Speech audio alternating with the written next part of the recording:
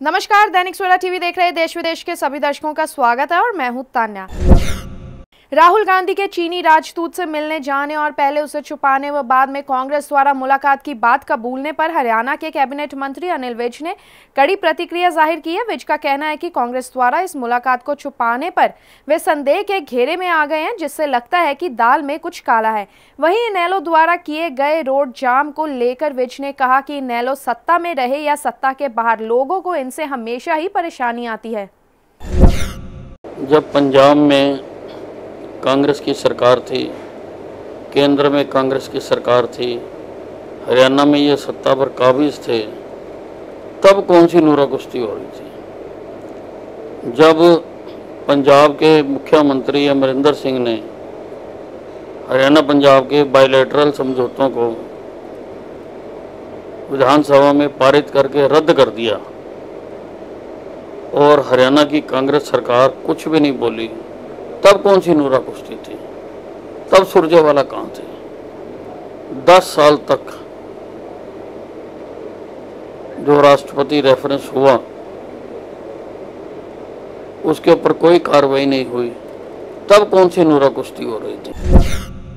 जालंधर के कपड़ा कारोबारियों ने केंद्र की भाजपा सरकार के खिलाफ नारेबाजी करते हुए जीएसटी के खिलाफ धरना प्रदर्शन किया व्यापारियों का कहना है कि जब से जीएसटी लगी है उनका कारोबार चौपट हो गया है ਇਹ ਜਿਹੜਾ ਸਾਡੀ ਸਰਕਾਰ ਨੇ ਜੂਨ ਵਿੱਚ ਕੱਪੜੇ ਦੇ ਉੱਤੇ ਜੀਐਸਟੀ ਲਗਾਇਆ ਹੈ ਅੱਜ ਅਸੀਂ ਉਹਦੇ ਵਿਰੋਧ 'ਚ ਇੱਕ ਧਰਨਾ ਪ੍ਰਦਰਸ਼ਨ ਕਰ ਰਹੇ ਹਾਂ 15-20 ਦਿਨ ਤੋਂ ਲਗਾਤਾਰ ਅਸੀਂ ਗਵਰਨਮੈਂਟ ਦੇ ਵਿਰੋਧ 'ਚ ਅਸੀਂ ਨਹੀਂ ਸੂਰਤ ਅਹਿਮਦਾਬਾਦ ਬੰਬੇ ਦਿੱਲੀ ਰਾਜਸਥਾਨ ਸਾਰੀਆਂ ਸਰਕਾਰਾਂ ਸਟੇਟਾਂ, ਮਾਰਕੀਟਾਂ ਲੱਗੀਆਂ ਹੋਈਆਂ ਹੈ।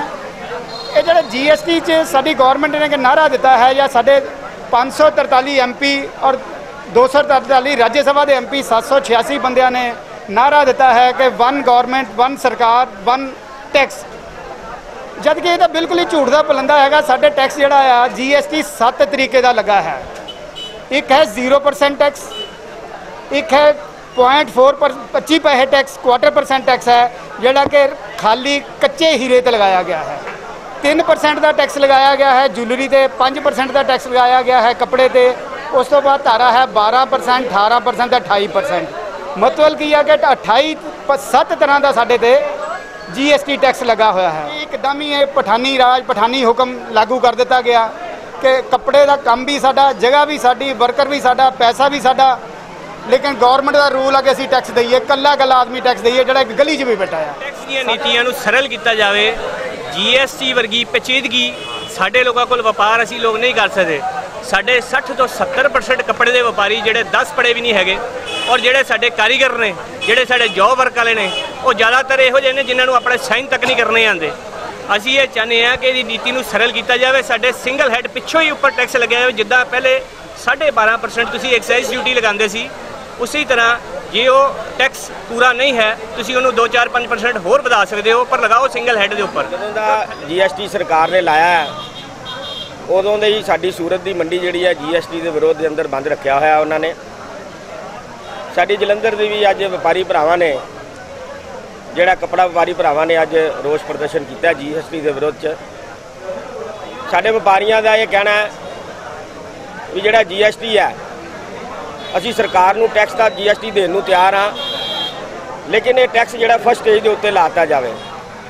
ਕਿਉਂਕਿ ਰਸਤੇ ਦੇ ਅੰਦਰ ਜਿਹੜਾ ਪ੍ਰਵਾਦਾਨ ਹੈ, ਕਿਤਾਬਾਂ ਲਿਖਣ ਦਾ ਜਾਂ ਮਹੀਨੇ ਬਾਅਦ ਆਪਣੀ ਜਿਹੜੀ ਹੈ, ਉਹ ਸਾਰਾ ਕਿਤਾਬਾਂ ਜਿਹੜੀਆਂ ਆਪਣੇ ਦਫ਼ਤਰਾਂ ਨੂੰ ਦਿਖਾਓ, ਇਹ ਜਿਹੜਾ ਨਹੀਂ ਹੋਣਾ ਚਾਹੀਦਾ। ਸਾਡੇ ਕੱਪੜੇ ਦੇ ਉੱਤੇ ਕਦੀ ਵੀ ਟੈਕਸ ਨਹੀਂ ਲੱਗਾ। ਅਸੀਂ ਐਕਸਾਈਜ਼ ਡਿਊਟੀ ਜਿਹੜੀ ਹੈ, ਉਹ ਸ਼ੁਰੂ ਤੋਂ ਹੀ ਲੱਗਦੀ ਏ। ਇਸ ਲਈ ਸਾਡਾ ਕੱਪੜੇ ਵਪਾਰੀਆਂ ਦਾ ਇਹ ਕਹਿਣਾ ਹੈ ਵੀ ਐਕਸਾਈਜ਼ ਡਿਊਟੀ ਦੇ ਤੌਰ ਦੇ ਉੱਤੇ ਜੀਐਸਟੀ ਤੁਸੀਂ ਲਾ ਲਓ, ਲੇਕਿਨ ਵਧਾ ਲਓ, ਲੇਕਿਨ ਫਸਟ ਸਟੇਜ ਦੇ ਉੱਤੇ ਟੈਕਸ ਜਿਹੜਾ ਲੱਗਣਾ ਚਾਹੀਦਾ ਇਹਦਾ ਜਿਹੜਾ ਕੱਪੜੇ ਵਪਾਰੀ ਜਿਹੜਾ ਪੂਰਜੋਰ ਜਿਹੜੀ ਹੈ ਜੀਐਸਟੀ ਦੀ ਨਿਖੇਧੀ ਕਰਦੇ ਨੇ।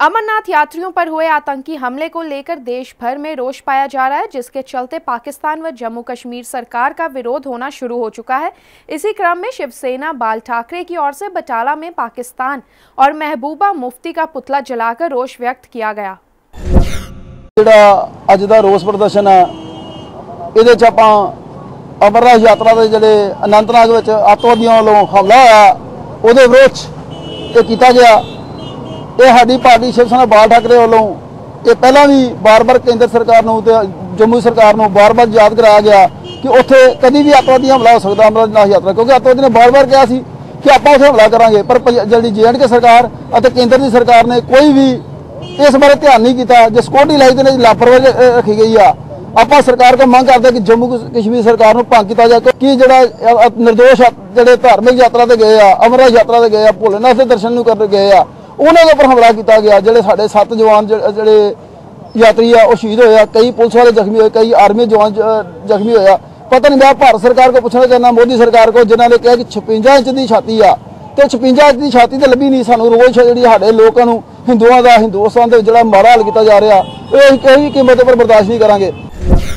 ਜਿਹੜੀ ਘਟਨਾ ਹੋਈ ਹੈ, ਬੜੀ ਮਾੜੀ ਗ- ਘਟਨਾ ਹੋਈ ਹੈ, ਇਹ ਬੜੀ ਦੁਖਦਾਈ ਘਟਨਾ ਹੈ। ਸਾਡੀ ਸਰਕਾਰ ਜਿਹੜੀ ਹੈ ਨਾ, ਇਸ ਪਾਸੇ ਕੋਈ ਵੀ ਖਿਆਲ ਨਹੀਂ ਦੇ ਰਹੀ। ਇਹ ਬਹੁਤ ਮਾੜਾ ਕੰਮ ਹੋਇਆ ਵਾ। ਅੱਗੋਂ ਤੋਂ ਇਹੋ ਜਿਹਾ ਕੰਮ ਨਹੀਂ ਹੋਣਾ ਚਾਹੀਦਾ। ਸਰਕਾਰ ਨੂੰ ਇਸ ਬਾਰੇ ਜ਼ਰੂਰ ਸੋਚਣਾ ਚਾਹੀਦਾ ਵੀ ਜਿਹੜੇ ਵਿਚਾਰੇ ਯਾਤਰੀ ਜਿਹੜੇ ਮਹਾਰਾਜ ਮਹਾਰਾਜ ਭੋਲੇ ਸਿੰਘ ਦੇ ਦਰਸ਼ਨ ਕਰਨ ਨੂੰ ਜਾ ਰਹੇ ਆ ਉਹਨਾਂ ਵਾਸਤੇ ਇਹੋ ਜਿਹੀ ਮਾੜੀ ਘਟਨਾ, ਕੋਈ ਵੀ ਤੀਰਥ ਸਥਾਨ ਹੋਏ ਕਿਤੇ ਵੀ ਹੋਏ, ਇਹ ਬਹੁਤ ਮਾੜਾ ਹੋਇਆ ਬੇਤੱਕਾ ਬਹੁਤ ਮਾੜਾ ਬੋੜਾ, ਇਸ ਤੋਂ ਮਾੜਾ ਹੋਰ ਨਹੀਂ ਹੋਣਾ ਚਾਹੀਦਾ। ਅੱਗੋਂ ਦੇ ਸਰਕਾਰ ਨੂੰ ਜ਼ਰੂਰ ਸੋਚਣਾ ਚਾਹੀਦਾ ਵੀ ਕੀ ਇਹਦਾ ਮਸਲਾ ਹੱਲ ਕਰਨਾ ਚਾਹੀਦਾ ਵਾ।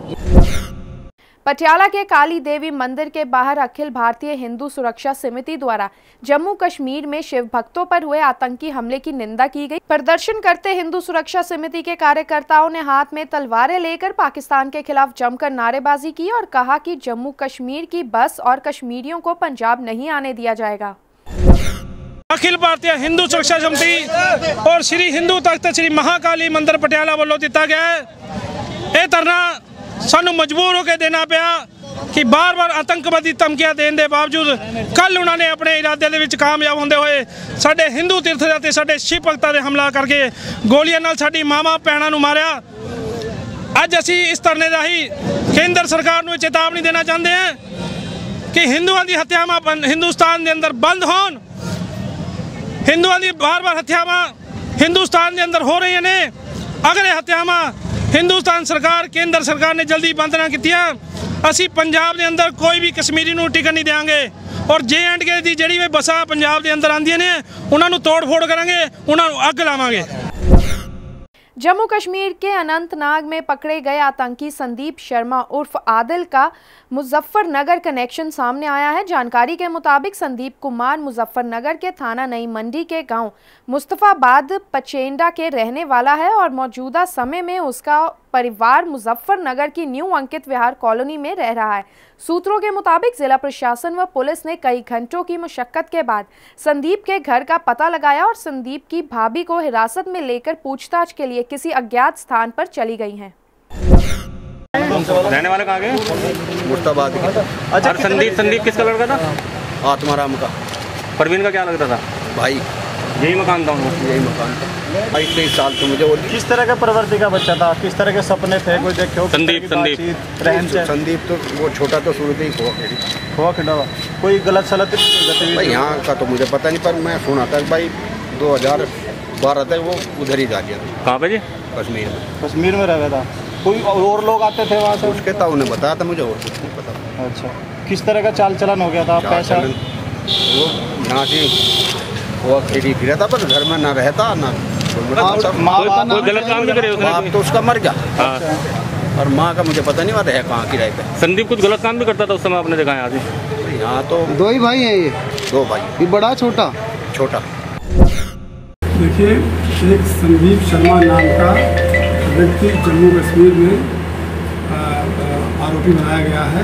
वहाँ पर से जो प्राप्त सूचना हुई है उसके आधार पर यहाँ पर छानबीन तो संदीप शर्मा ये रमेश कुमार का लड़का है।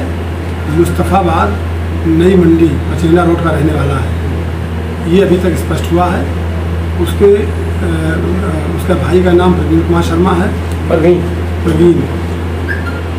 वो हरिद्वार में टैक्सी चलाता है। करीब ढाई तीन वर्षों से वेल्डिंग के बिल्डिंग का काम करने के नाम पर यहाँ से वो चला गया था किसी ठेकेदार के, साथ और अभी ये ज्ञात हुआ है कि कुछ दिन पहले लगभग पाँच छः महीना पहले उसका फ़ोन उसके भाई के पास आया था तो उसने बताया था कि दस बारह हज़ार रुपये की नौकरी वो बिल्डिंग की एक ठेकेदार के साथ जम्मू कश्मीर में कर रहा है। और जो फ़ोन किया था वो जो उसका मकान मालिक था उसके फ़ोन से फ़ोन किया था। ऐसा इतनी जानकारी अभी अभी प्राप्त हुई है। यहाँ का रहने वाला है और संजीव कुमार शर्मा उसका नाम है जो वहाँ रिटेन हुआ है ये बात वेरीफाई हो रही है। फ़िलहाल इस बुलेटिन में इतना ही। अगले बुलेटिन में फिर मिलते हैं। तब तक के लिए दीजिए इजाज़त। नमस्कार।